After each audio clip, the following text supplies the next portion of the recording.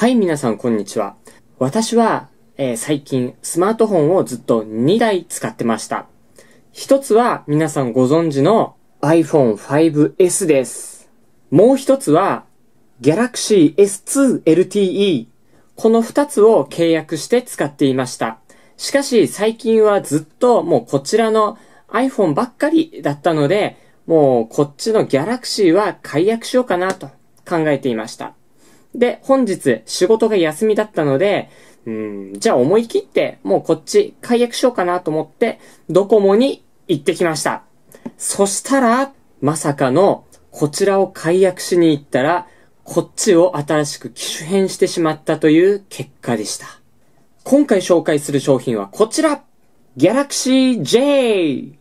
今更まあね、皆さんご存知の方も多いかもしれませんが、ドコモは最近新しい Galaxy S5 というのを出しました。なぜこちらを解約しようと思ったかというと、まあ、使う頻度が少なくなってきたっていうのと、古い携帯電話。まあ、携帯電話の世界はどんどんどんどんね、進化がね、止まらないので、もう1年で大きな差が開きますよね。それで発売2年半経ってます。もう、あれですよね。では、機種変をしようと思った時に、なぜ新しい S5 にしなかったかというと、まあ、一つ目は値段です。こちらが S5 だとしたら、S5 と Galaxy J、価格の差が1450円あるんです。たかだか1450円と最初は思いました。ね、えー、まあ、定食を2回ぐらい我慢すれば買えるじゃんと。まあ、それも一月のうちで。思ったんですが、よーく考えたら、2年縛りです。それを24回繰り返していくと、S5 と Galaxy J の差が3万5千円ぐらいになります。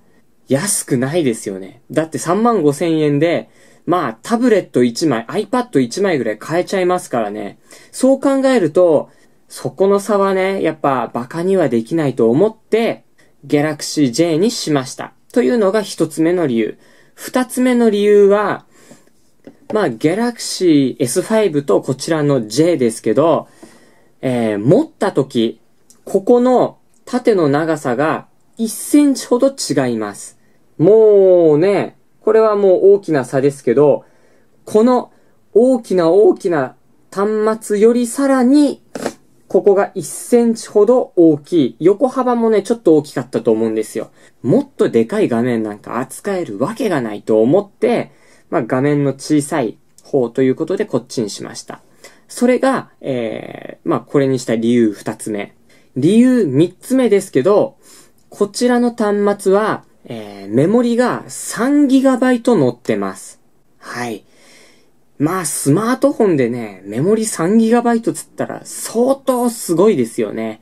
S5 が、Galaxy S5 が、あれが確か 2GB だったと思うんですよね。